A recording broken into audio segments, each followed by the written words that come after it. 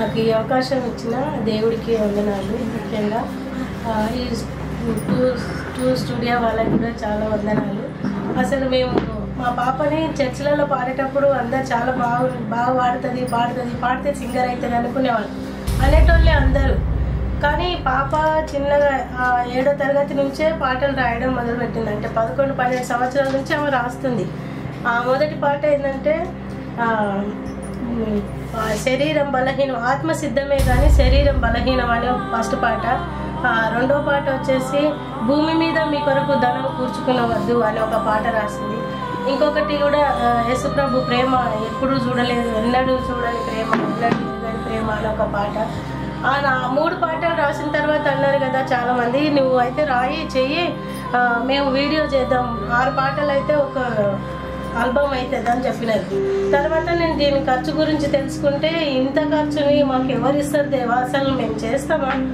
మాది పరిస్థితి ఏంది? మేము ఎక్కడ ఇంత ఖర్చు పెట్టి ఈ పాటలు? కానీ ఒకటి నమ్మకం ఏంటంటే దేవుడు పాపకు ఆ తలంత ఇచ్చిండు. నేనైతే ఎక్కడ రాయి పాడని అయితే నేను ఎప్పుడు చెప్పలేదు పాపకి. కానీ దేవుడు ఇచ్చిన తలంతిని మాత్రం దాచిపెట్టాడు. ఎప్పుడో ఒక రోజు తీసుకుంటాడు అని అనుకున్నా. అది కూడా ఎట్లా వస్తుంది అనుకున్నా అంటే స్కూల్లో కూడా పాడుతుందనమాట పాటలు. హాస్టల్లో ఉండి చదువుకుంటుంది.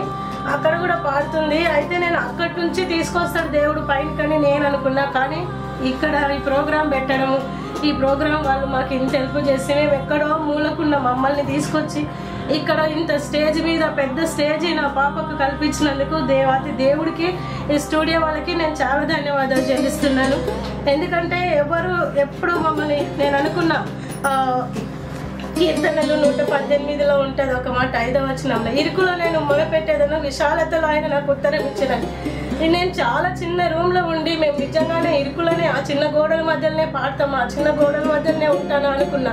కానీ ఇంత విశాలత ఈ రోజు నా పాప ఇక్కడికి వచ్చి పాడడం నా పాప అనడం కంటే దేవుడు నాకు ఇచ్చిన పాప. నేను ఎప్పుడు నా పిల్లలు అని నేను అనాలన్నా కూడా నాకు భయం. దేవుడు నాకు ఇచ్చిన పిల్లలు అనాలని. అదే విధంగా ఈ స్టూడియో వాళ్ళకి చాలా ధన్యవాదాలు చెల్లిస్తున్నాం. మమ్మల్ని ఎవ్వరు గుర్తుపట్టకుండా ఏనో మూలన పడున్నప్పుడు ఈ స్టూ- అయ్యకు అన్నకి ఇచ్చి ఇంత జేమ్స్ అన్నకు మంచి జ్ఞానం అసలు దేవుడు ఇచ్చిండు పాప కోసమే. ఇటువంటి వాళ్ళు ఇంకా ఎంతమంది ఉన్నారు. ఇంకొకటి నేనేంటి అంటే అసలు నేను ఏమనుకుంటున్నానంటే ఈ పాపని ఇక్కడికి తేవడానికి కూడా నేను చాలా ఇబ్బందులు ఉన్నా. అయినా కానీ నేనేంటంటే ఈ పాపని ఇప్పుడు తేవడమే గ్రేటు.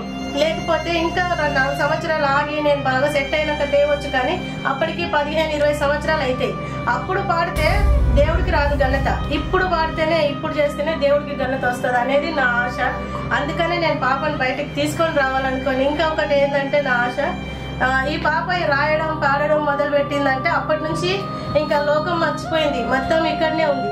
ఈ పాపలాగా అనేకమైన పిల్లలు రావాలన్నది ఒక్క ఒక కోరికతో నేను నా పాపని ఇక్కడి వరకు తీసుకొని రావడం జరిగింది. ఇంకా చాలా మందికి పాప ఆదర్శమై చాలా మంది రాయాలి పాడాలి దేవుళ్ళకి రావాలి. అంటే రాయాలి పాడాలంటే రాస్తూ పాడుతూ ఉంటే వాళ్ళు ఇక్కడికే వెళ్ళిపోతారు ఇంకా. ఎవరు పాడుతున్నారు ఎట్లా వాడుతున్నారు? ఎట్లా మాట్లాడుతున్నారు? అవే చూడడం వేరే ఏం చూడరు ఫోన్లో. ఎందుకంటే నేను చూసిన కాబట్టి చెప్తున్నాను నాకు ఈ పాపలాగా అనేకమైన వాళ్ళు రావాలన్నది ఒక్క కోరిక మాత్రమే.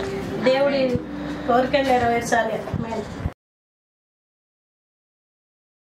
మా రాబోయే అప్డేట్స్ కొరకు ట్రూ స్టూడియో యూట్యూబ్ ఛానల్ను వీక్షించండి.